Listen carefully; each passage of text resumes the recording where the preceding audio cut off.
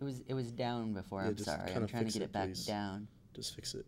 Like, thank you though. It's you have no idea how hard it is to groom myself when you're just ahead. I think this is Like I have to. I tape my comb on my dresser and I just kind of rub my hair down on It it. doesn't seem very Like, effective. Sleeping, everything's hard. Like I have to drag the covers. I have to use my mouth as hands. It's awful. Um, um, um. But it's wel- cool to be welcome, ahead. It's welcome also- back to the witching hour. Welcome back to the witching hour.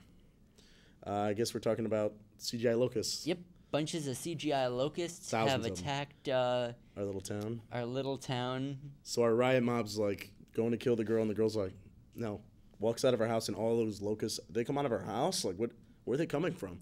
Nobody even knows, and everyone's dying, and it's just, I don't even care, though, about these people that are dying. Yeah, Mayor's dead, everyone's dead, like, the, it doesn't there, matter. there was no impact No because they didn't develop any of the characters. And there's only two characters you actually give a crap about Hilary Swank and Idris Elba, and then and I don't even actually Uh, care no, about Hilary because, Swank. Yeah. because Hilary Swank is Hilary. Swank, and, And is she is she weirded out by the locusts? Like she's trapped in the house and all the locusts. like this. what is she thinking about? Weird face, like, oh, I'm not affected by any of this. like kind of like a horse though. yeah, Like a horse that just doesn't understand and is confused. That's what she reminds me of.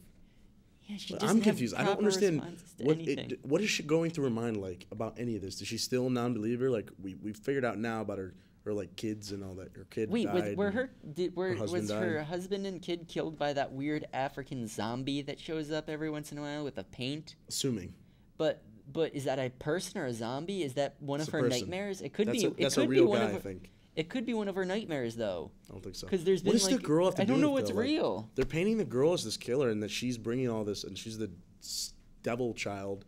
But like, I, you don't really see her that much. She doesn't have like a single line. She so I really just say don't believe her. evil. I don't believe that she's a demon, evil devil. She's not that scary looking too. She's like blue eyes, blonde hair. Like, well, Hitler scary. Like not to you, but it's still not that. Not, it's not frightening. Yeah, I don't. There's nothing that screams like Either way, major showdown between God and the devil right now. Um, it's gonna be biblical. This is uh this is the point at the movie. Like I thought this was just gonna be like a horror version of the plagues of Egypt, Mhm. but instead they're going, they're turning it around. It's a Bible movie now. They're definitely Bible going movie. with the Bible angle. Well, no, I think it's Hilary Swank discovering your faith. Like, is that what but, we're assuming? but it still makes it awkwardly religious, and I don't like that. I don't like that. I'm watching an, I'm watching a horror movie, and all of a sudden I'm getting a religious message. I'm getting a message to turn the movie off. That's the message I think we're all getting that. Like, I'm, I'm honestly, I think it's rated R for. Are you still watching? Because if so, don't turn it off. Nobody even cares. Everyone's phoned out by this point.